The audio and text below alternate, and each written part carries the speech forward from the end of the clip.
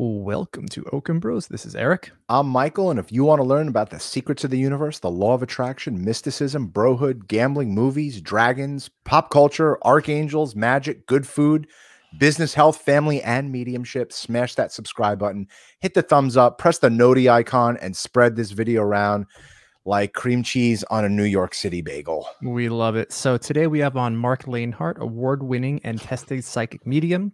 You can visit uh, marclainhart.com for more information and readings. Thank you for coming on, Marc. Hello, guys. Thanks for having me on. How you guys doing? We're great. man. I would just like to first say that I had a reading with Marc, and it was eye-opening, mind-blowing, uh, expanding conscious awareness, amazing. Uh, loved having the reading and really appreciate you coming on Okon Bros. Really, really. You know. Well, again, thank you for the invite. And I, I actually was talking. To, so I have a spiritual development group that we meet uh, on Wednesday nights, and I've got students from across the nation, Canada, and over in England. And I was actually sharing your story, story, Michael, not personally, but I was sharing with them the perspective of how when you become aware and you look at things differently, the things, you know, we talked about uh, cash, for example and how that message came through, you know, from the the artist format of Johnny Cash, the singer, and then all of a sudden for you it had a lot of relevance. And so it's always about perspective too, right? The art of spiritualism is the ability to shift your perspective, because those that reside on the other side of death, uh, which is not the end, it's actually just like getting out of one car and getting into another. Right. Um, or as Chief Seattle, who I'm here in Seattle, Washington, as Chief Seattle once said, uh, there is no death; it's just a shifting of worlds. And wow. when you realize that they're around us, they find different ways to connect with us because they lose their voice, they lose the vibration off the vocal cord. And so, therefore, they come out with different ways nature, music, books, lookalikes, people that look like you. People find things all the time. I, I have a stack of dimes on my desk from my brothers to let me know that they're always around me. So, I, I just shared your story last night with my Thank group. Thank you. We love that. Yeah, the symbols I, are unbelievable. Go ahead, Eric. Ask, yeah. ask away. Yeah, I want what I wanted to jump in with was you said spiritual prospector. Now yeah. that is so intriguing to me. What is that, and and what does that mean?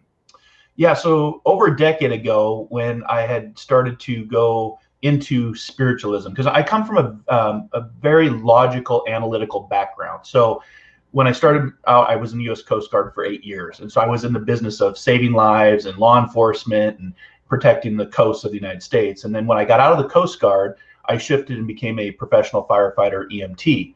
So I was still working in the life saving modalities, very logical, very critical thinking type of work.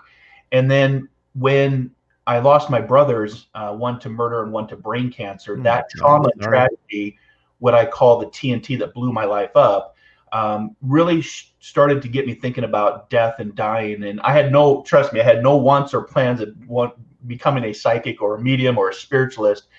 And it was actually um, the term the intuitive prospector came through when I was uh, taking my graduate studies here in Seattle, Washington at the University of Washington.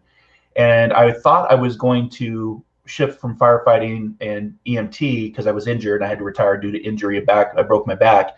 And so I was going to be working on the sidelines of professional sports. So sports medicine, human performance, taping up the ankles and the joints, you know, whether collegiate or the professional, that's where the direction I was going. And it was during this uh, course of visualization, manifestation uh, for the for the professional athlete that I started to think about spiritualism, and I started to think about okay, what can be kind of a man type of energy, like very masculine type of energy? Because in this field, I'm usually outnumbered. I'm usually the token male at a lot of the 100%. workshops, and yeah. You know, a lot yeah. of women. Um, just trying to get in touch with my intuitive side. And I was watching a show on Discovery Channel, and it was prospecting, and I thought. Mm-hmm ah, you know what? That's that's kind of a cool name because when you prospect in, you know, if you're digging in the dirt to find gold and diamonds and crystals, it's hard work, right? You're dirty, you're sweaty, you got mud all over you. And I realized that that is life. Life throws a lot of mud on us. Mm-hmm. And what we are doing is we are searching for that diamond within. So we would know from the laws of physics that diamonds are created under extreme pressures. And if there's no pressure, it just remains a piece of coal, right? Mm-hmm. And so for me, the intuitive prospector was about discovering and exploring through body, mind, and spirit to discover the diamond in and take the pressures and the traumas and the tragedies and everything that I had gone through, including my own near death experience, and bring that together into a concept called the intuitive prospector, where I work with people and do consultations and readings and events and really help people to prospect knowing that you know you're going to get out what you put in. It just doesn't come delivered like amazon in today's modern age. You don't just get on the computer and order and it you know two days later it's at your doorstep. Mm-hmm. there's a lot of work to have this awakening to have awareness to trust your intuition which is the language of your soul so the intuitive prospector and when i first came when the when the name came to me we were in a meditation believe it or not and I thought, man, that's just a stupid name. like, you know, the whole concept of even what I was doing was like, this is really just crazy. Am I losing my mind? I'm hearing voices. I'm seeing things that I don't understand. So there was about two years of self-analyzation and self-sabotage and you know critique of myself because I'd come from from the fire service, and now all of a sudden there's this big shift of no, you're not going to do sports medicine. You're actually going to be a spiritualist doing radio and writing articles for magazines and doing shows like your show, you know, and doing readings with people all around the world. Jump to today, decade later. Now, my brothers have been in the spirit world for over 20 years, but you know, if you've ever had a loss, you realize that time kind of stands still, right? It's been 20 mm-hmm. years, but it, to me, it feels just like a few years ago. Right. And you jump to today, I love what I do. I, I think the secret of life is getting paid to do what you love and I love working with people and helping people. I don't heal people. I'm not a healer per se, but I can lead people to doorways and modalities to find the healing that comes from within, just like the reading you read did with Michael and, and some of the healing that he experienced. Um, you know, based on me just being the voice of that person coming through. That's really all I am is the person uh, that has the voice, the physical voice, to give that information. How did you deal with the grief of of losing two brothers. I mean, that is, I mean, I it's I couldn't even imagine. Um, did you channel that grief into just finding answers, or was there something that one of your brothers did where you're like, wait, he's still here. I feel him. I I hear him. You know, like what happened? How did you deal with that? Yeah, I think it was kind of both, Eric, in the fact that I channeled, but I kept it in, right? So I was in the Coast Guard at the time. I was 27, so still pretty young uh, still pretty arrogant and cocky and doing what I do, and I didn't need help. I didn't need to honor my grief, and I that's a mistake. So anybody watching the show or listening to the show, always honor your grief because there's a difference between grieving the loss of somebody and mourning the loss of somebody. And what I mean by that is I held my grief internally, and it caused me a lot of emotional pain, physical pain, mm-hmm. uh, relationship pain. And when I realized that I started to need to mourn my brothers, because my brother, um, Michael, his name was Michael, my little brother, we didn't have any answers for almost four months after he was murdered. We didn't have people, we didn't have any suspects. We went through eventually five murder trials where five people were convicted. Uh, and then at that time, my brother was also, you know, passing from his brain cancer and he was leaving four children behind. So I kind of had to manage all that. So it was kind of like more damage control and survival mode at the time. Mm-hmm. And then people will realize after the death and dying, that's where that sets in. That's where you need to start honoring your grief. So going back to grief is an internal process process that's different for everybody. How you mourn that person is your expression to heal and to accept that death is guaranteed for all of us, just like they say death and taxes. But I always remind people to honor your grief through the power of mourning, whether it's singing, writing, going out and, and, screaming at the moon, or what I did is I screamed at God. I was pretty upset with you know what my version of what I thought God was. Felt very uh, alone. So it, there's power in honoring your grief through the power of mourning, and don't hold it in. So I started to search out. Well, I was actually was forced upon me. I started with biofeedback. I'm like, I don't need help. You don't need to go to your happy place. But after eight sessions of biofeedback, I started to see the power in the mind and what the mind is capable of doing, lowering my heart rate, lowering my breath rate, uh, raising my temperature up and went, oh, okay, this is interesting. And that doorway then started to lead me to explore the psychic. What is the intuition? What is mediumship? And I was having connections with my brother who was now on the other side. And I didn't know what to make of that. And I started searching out for, you know, answers and help. And that led me to a couple different places from here in the United States at the Berkeley Psychic Institute in California to the Omega Institute in upstate New York uh, Rhinebeck, New York, and then that eventually led me the last decade to be studying over at a college in England called the Arthur Findlay College.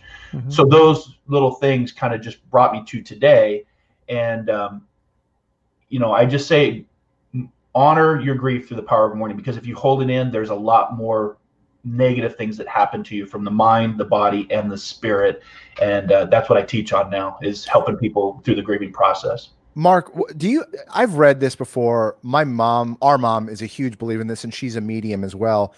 do you feel that like there was a life contract with you and your brothers that you guys came back to this earth and they chose this way out? Because I've I've read that before that it nothing happens by accident in right. this on this side of things. And I'm I'm curious to know what your beliefs are on that. Do you feel that you know we choose the way we're going to go out or do you feel that everything is random? There's no coincidence, you know, there are coincidences. What are your thoughts on that about losing two brothers? Do you feel that this was um, a story that you, that you were left here to tell? Our our grandfather was in the Holocaust. He lost his entire family, both of his sisters, both of his parents. He was the one survivor out of the entire family and that's why Eric and I are here today because wow. our grandfather survived the Holocaust. So, you know, do you feel that there's like this? It's a script that we're living out, or do, do you feel that there's a contract that we have before we get here? Because clearly we're all souls in meat suits, right? Like this is this is not this is not birth to death. There's something right. bigger here. Yeah. You know, I've, and I've had long conversations with uh, colleagues and my mentors about this exact thing. And I always come back to the greatest power we have while we're here is free will and choice. And when we come here, I always, you know, remind people that life is an acronym. Learn it from experience. And experience doesn't have a definition of good, bad, or ugly. It, it's all combined into life. That's what life is. And I do, in a sense, feel that we have experiences that shape us and mold us because I guarantee you, I wouldn't be talking to you gentlemen today if my brothers wouldn't have passed the way they did at the same time. Exactly. It wouldn't have changed me. I would still probably be doing something more in the, the line of fire service or uh, healthcare. Um, and I, I, do believe that we have certain pathways that we choose before, because we're we're energy and spirit before we come into this physical flesh suit that you talked about, and we're here to learn. And eh, it, you know, it's through learning and growth. And again, growing pains are not always you know they call them growing pains for a reason, but it makes me feel like it it's preparing us. This is kind of like Earth School, right? This is like we're here through. And if you think about just hierarchy, what you've done your entire life from school, from kindergarten to junior high to high school. Some go on to vocation, some go on to um, college. And then you have life after that. And it's like, I, I feel like we are here to learn and to grow. And I do feel, in a sense, it is a free will and choice of that, that soul contract um, that we can decide to, you know, experience. Um, because a lot of my work that I do today is really like you know they talk about planting a garden it's something that you plant but you don't necessarily get to enjoy it's like it's leaving my story behind so others can you know learn from that and hear the pain and, and suffering and tragedies that i went through. But right. knowing that death is not the end death is just the beginning of the next adventure. Um, and it's not to be anything feared of. Uh, you know you think about it on a daily average you take the pandemic outside what we're, go- what we're going through currently there's about 50,000 people that that leave the planet every single day around the world. You know i've done podcasts on this and shows on this where you know we've done studies that you know there's 50,000 people leaving in the in one day and there's 100,000 people coming in. So it's like okay, that's a lot of people, you know, based on right. just you know, accidents or sickness or just natural causes. And that's always just kind of stuck with me. And some would call it the matrix. You know, are we plugged into the matrix? And uh, right. some scientists have even said that you know, multi-dimensional. We could get into string theory and you know, are is there a version of you living back in you know the 1400s, Michael? Why this current Michael is living this? Right. And you know, like a we always talk about it you know, for your listeners, um, like a coat rack. Like you have a coat rack and you hang your coat or your hat on all these different pegs, but that peg is reflective of something in the past, something today, something that you're doing in the future. Um, you know, because people always come to me and ask me, I want to know my future. And I always remind them that the best part about the future is it comes one day at a time.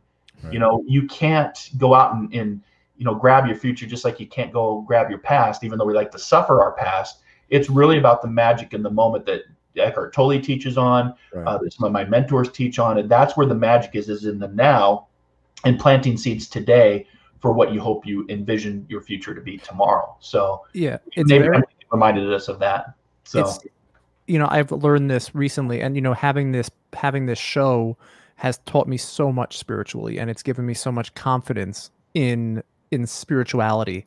Um, we interviewed Eben Alexander, Dr. Eben Alexander, and he said um, you know your brain does not store your thoughts or your memories yes. and that was True. that was like that was life before knowing that and then life after that realizing that that yeah when we connect with our father he knows us he he remembers things from his past and he's Eric- watching things Eric- go on now. I got on with Marc, and he's like, "Your dad's here." Like, Right. it was there was no like, That's my that's my point that that I I very w- obviously like we're our brains are antennas and we're we're connect some everybody is connected to their soul on the other side. And I would not be shocked to know that if we be everything is living together all at once. well, there's no past, present, and future when this is gone. When this, our Right. dad came through one reading, the first reading, 30 days after he passed, and he said, "Nothing has changed." He said, "The only thing has changed is my form."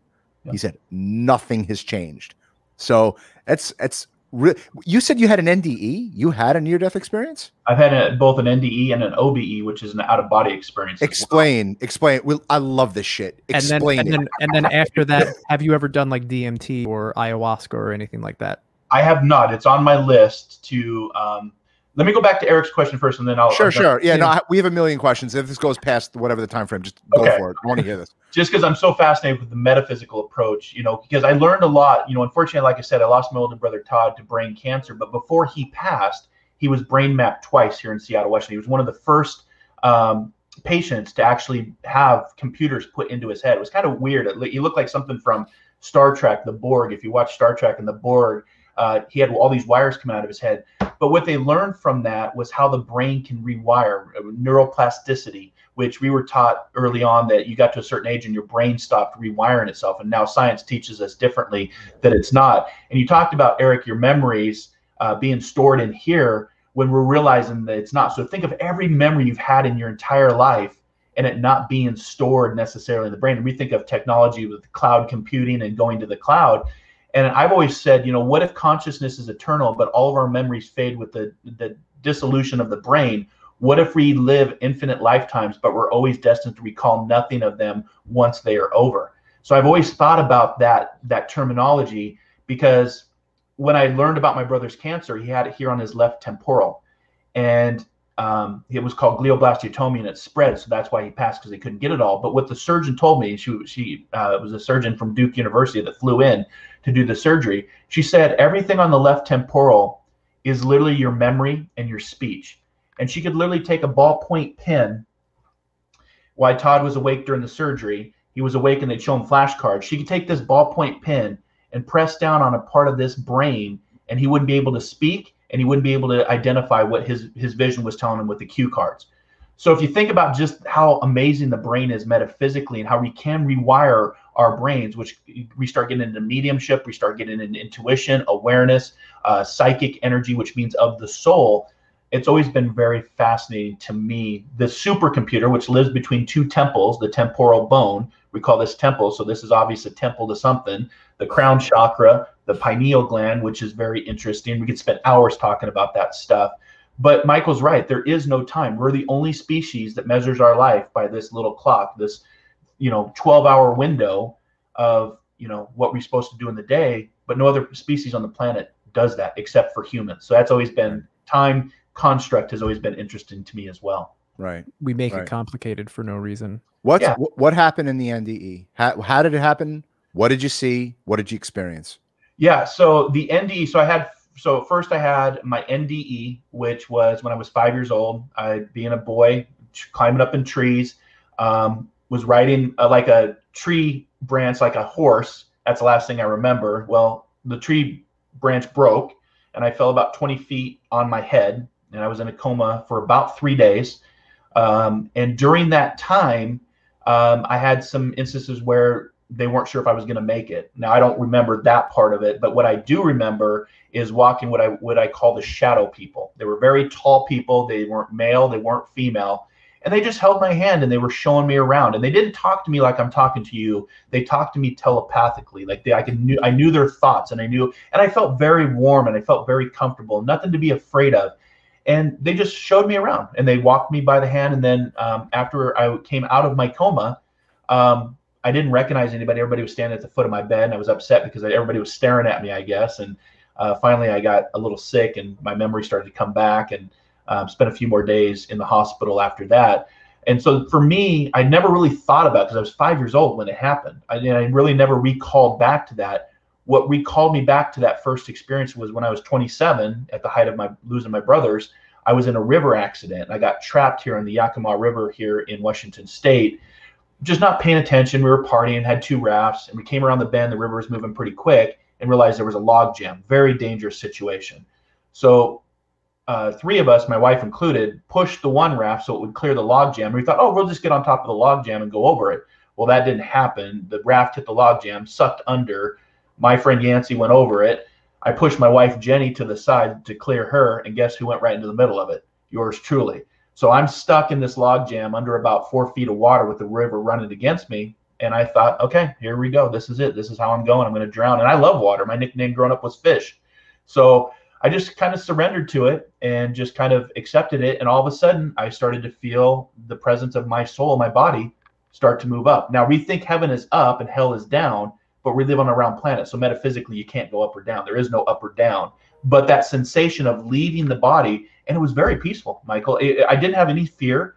I felt very, again, that same feeling and emotion that I had when I was five years old. And I started to look back down at my body and see myself pinned underwater and as I left out of my body, all of a sudden I shot right back down into my body and I popped up. I, I don't know how to this day why or what happened. You know, the analytical mind will jump in and try to debunk it. Oh, I just must have slid down the log, or the right. spiritual mind will say, Oh, well, you had more work to do.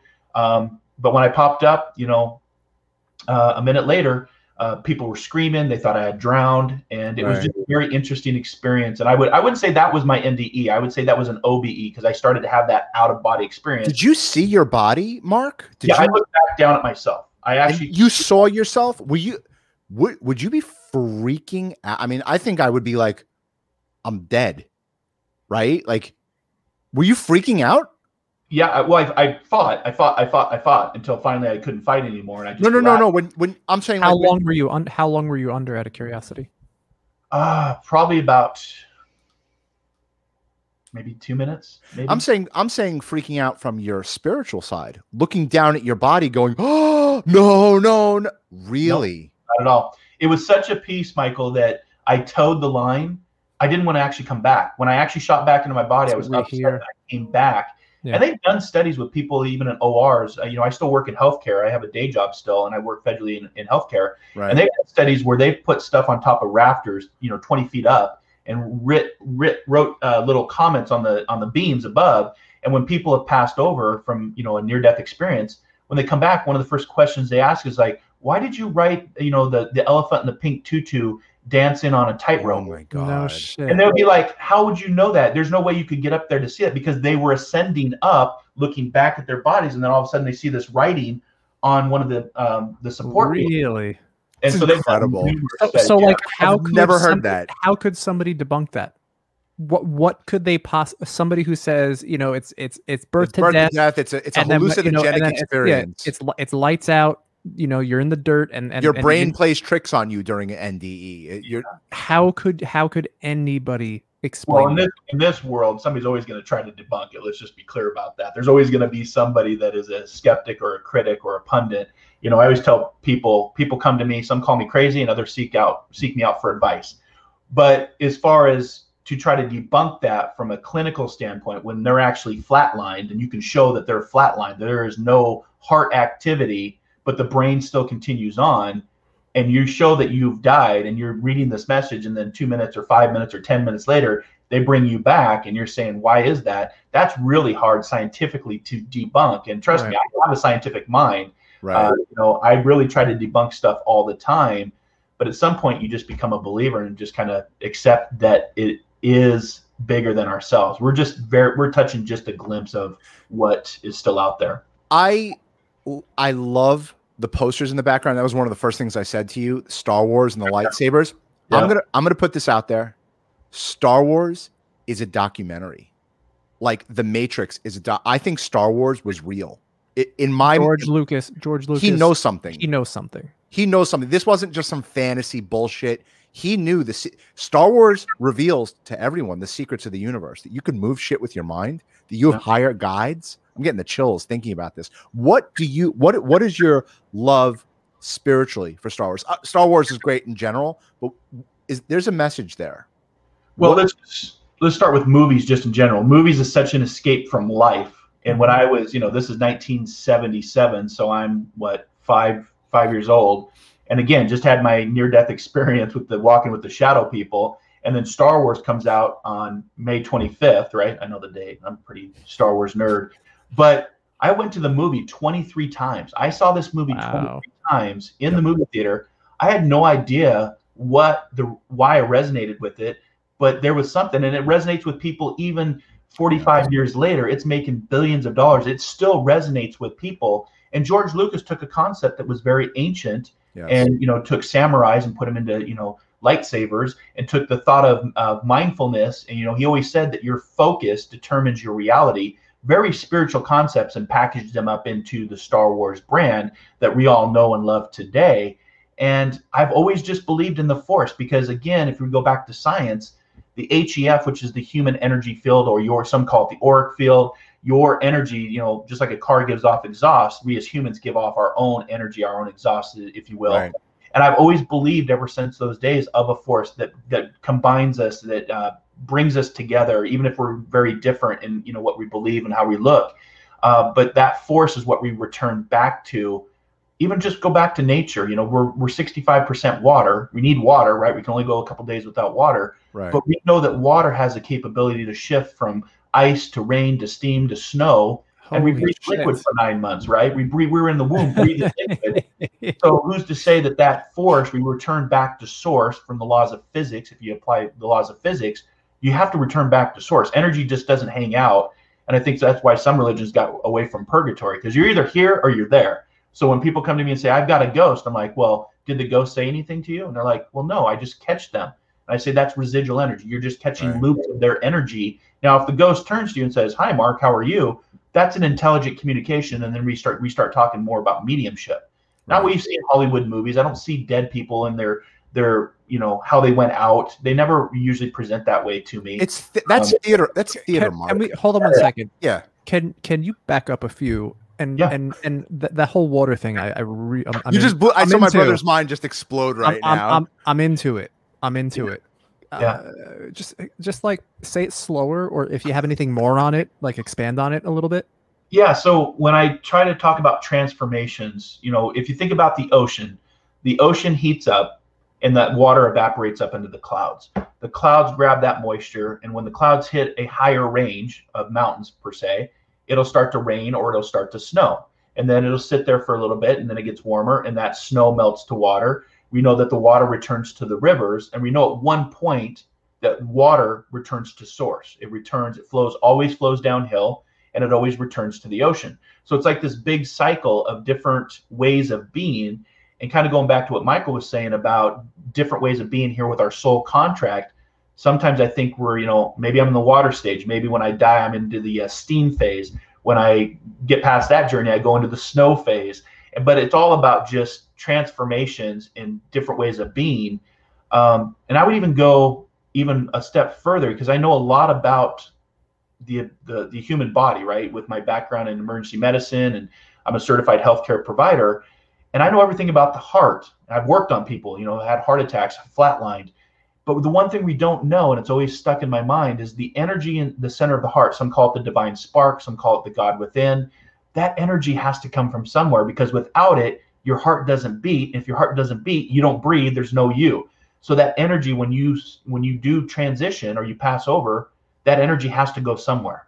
The question is, where does it go? Does it return to source? Some people want to say it goes up to a cloud and you play a harp for the rest of your your life. I think that sounds pretty boring, to be honest with you. Hundred percent. That's phrased, right? We asked our dad through several mediums, and and he came through and he said, "There's no." He goes, you know, Michael and Art, there's no dude in the sky pointing that you're going to hell, you're yeah, going here, you're busy. going here. He's he's working, he's busy, you know. Right. And and I've and and like my father-in-law who also passed away, you know, a year or so ago.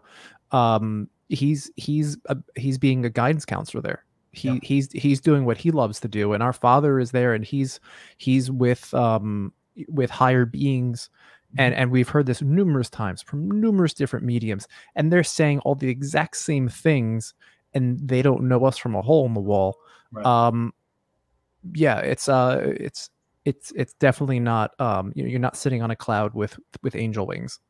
I love the movie What Dreams May Come with Robin Williams. Oh my I gotta god. watch I gotta watch that again. yeah. Yeah. That and Cloud Atlas are two of the movies. Again, you could throw the Matrix in there, you could throw the Star Wars movie in there because those are. But Cloud Atlas, which is based on reincarnation over a 500 year period with Tom Hanks and Halle Berry and Hugh Grant, really great movie based on the book. Mhm. Didn't do well at the movie. Um, uh, Didn't resonate. It, it didn't resonate because people didn't understand it. correct. but if you watch it a few times, you're like, oh, I get it, you know. Um, and then with um, what dreams may come, I thought that was a great visual representation of what we choose heaven to be, the many mansions, or you know, the darkness, if that's what you choose it to be. Uh, but you know, people flying around with big, you know, the akashic records and still learning. Um, every person I've connected with says that the hierarchy is real and that the learning continues. The learning never stops.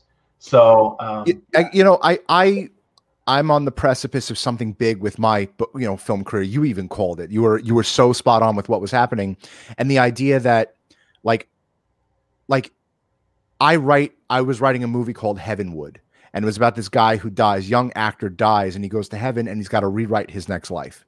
He, mm-hmm. and, and and all of heaven is like Hollywood reinvented. There's the the angels or the writers, and they're writing everyone's life, and you you know there is an element of free will in this whole nine yards and god's the the production the head of production and you know jesus buddha the, all the vps of you know production everything and i pitched it to a studio and they said movies about the afterlife don't do well they said people people it's, the, the, The- it's too one- yeah. conflicting The best one that I've seen, in my opinion, is Defending Your Life.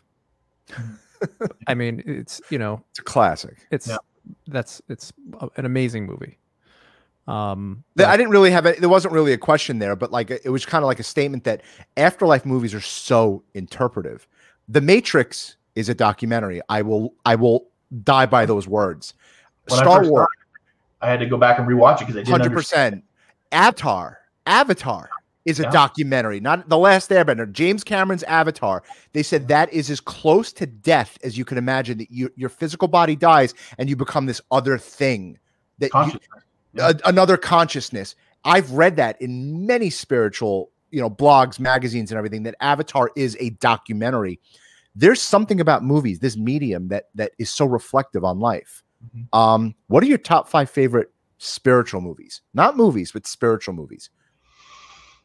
I don't mean to put you on the spot like that. Yeah, no, that's. Uh, I don't think I've ever been asked that question. Well, and I go back to you know you said movies don't do well in the afterlife, but Star Wars covers you know Force Ghost. Uh, Right. Avatar is one of the most uh, successful movies of all time, right? Right. As far as money, if you wanted to say money, Right. Um, I would have to say uh, spiritual movies are different from the actual movies filmed about the afterlife. But eh, that's what that's what this producer told me. He's Yeah. Um, yeah, I don't know if I have an actual favorite um, because again, some of the some of the best stuff has been you know made into a movie from books like you know Cloud Atlas, which is a Right. very Mhm. interesting spiritual book. Right. Um, made into a movie that didn't do well, right? Because again, the concept it, it's hard to transfer that over.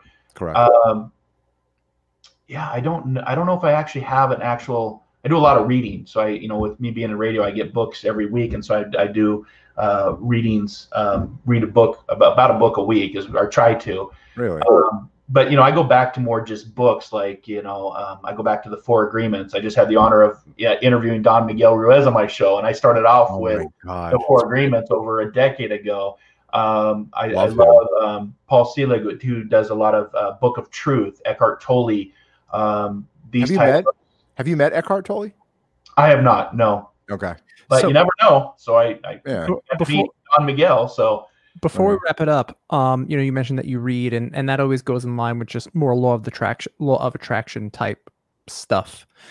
Uh, what are your thoughts on it? Because I know, um, like a lot of NDEers, um, they they're like they just want to be one with the light, and they know once they're one with the light, then they they have everything that they need, and they'll get everything that they want are you more of a um uh, like a secret type of person more spiritual or you know what are your thoughts on on law of attraction well, you know, if you you you could get into scripture about what you put out, you get back what you uh, sow, Right. you reap. I mean, there's there's the uh, the law, the universal laws of you know what you put in, you get out. Uh, so I do believe that you know people say, well, that's karma. Or, you know, you're going to put bad out, so you're going to get bad back. I think karma for me is a series of teachable moments, and you again free will and choice how you want to navigate that because again your focus does determine your reality. Um, but as far as like attracts like or the secret or that energy i do believe that you know what you put out does come back it's like throwing a, a pebble in a pond and knowing that that ripple goes out right. and eventually it does come back by the laws of physics we may not wait around for it to come back but eventually that energy returns and you know just trying to i, I always just try to be the better version of what i was yesterday for today in that moment Mm-hmm. Um, but you know, having an awakening, having a spiritual awakening, this isn't always cupcakes and unicorns and rainbows. And I teach on that. It can be some very dark nights of the soul, especially if you've lost your father or your father-in-law, or you know, for me, my brothers and, and my father and my father-in-law as well. But you can take all that and focus on the bad and the negative of it, or you can turn it. And again, kind of like what I say with what dreams may come, your focus, you can determine if you want to go in the dark or you can focus if you want to be on the light, knowing that mm-hmm. if you right. stay in the light, you will be taken care of. They will meet your every need, but they're not going to do it all for you. You've got to meet them halfway because right. there's that balance. Two halves make a whole. And again, if you're going to put out negative, then your reality becomes negative. If you if you put out light and want to be, you know, when I tell people I'm a psychic or medium, it's not about doing readings and making money or being on shows. It's about right. being in service to help others. Yep. And I've always been in service, whether it was for my country, the local community, as in being the fire service, or now just being a spiritual prospector helping others prospect for that diamond that's in all of us that that energy that diamond that makes us go so that's really what i'm all about in this day and age that's that's, that's incredible you know there there always has to be an exchange you know yeah. that's that's the that's the laws of the universe that's the laws of spirituality that you know if you're giving a service you need to get something in return and you know sometimes it is a pat on the back or sometimes it is you know someone saying thank you but sometimes it is that you know a couple hundred dollars because right. it just is what it is we're the only species that pays to live here, right? right. So we have this this commodity. But I always remind people, your greatest rewards in life is not money. It's actually your health. Your health 100%. is your true health, and your time. Your time is your greatest commodity. So people are only paying me for my time, not to give them a reading because it's my wow. time in. So that's where I come from because I had a really struggle, Eric, with charging people like you have a gift, you should just give it away. But our mother, away, our mother did that. What you just said, our mother's like, I can't charge for this. And then hard. she went to she went to a medium, and our father came through and was like, You better charge for this. This is your time that you're. My mentor helped me with that. My mentor helped me to understand to put a value to you and the value of the work you're doing because it's about your time. Mm-hmm. So, um, you Love know, it. I, that's so, Marc, where can people find you? What services do you actually provide for them? And uh, yeah, so plug away. Uh, well, thank you again for allowing me to be on the show. Uh, MarcLainhart.com, or you can internet search the Intuitive Prospector. I'm very easily found now. Sometimes I want to hide and not be found. Uh, but you can find me through, um, I'm on a few professional directories where I've been vetted, background tested, background checked, uh, Best American Psychics, Best Psychic Directory uh, Ariel Spiritual Community. Those are the three that I'm associated with based on. And I always challenge people if you're going to do this work, go get tested, just like a lawyer, just like a doctor, stand in front of a board, uh, go to a college, continue to grow with this.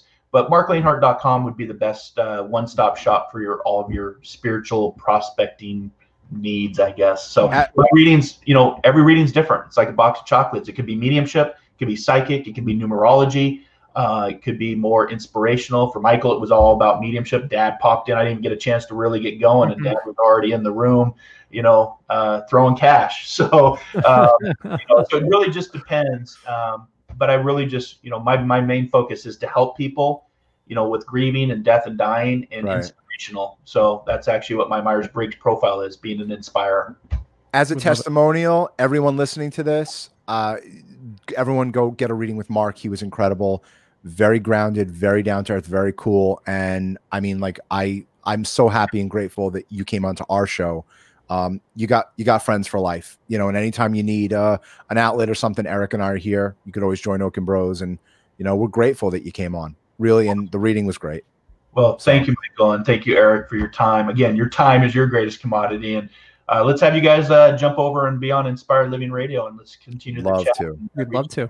Absolutely. So, Would love it. And Marc, I I have the book Um, it's in my office. I haven't been to the office, but I am going to go back on Monday. I will be sending out Monsterland to you, signed and you know to Marc. So right. Well, and then Yeah, we can talk about that, and I can I can return the favor and that like attracts like energy that we're talking about. hundred percent, We love it. Everybody, please like, subscribe, and share this show. Visit marclainhart.com. We appreciate everybody tuning in, and uh, we'll catch you all next time. Bye, everyone. Thanks, everybody. Thank you, guys.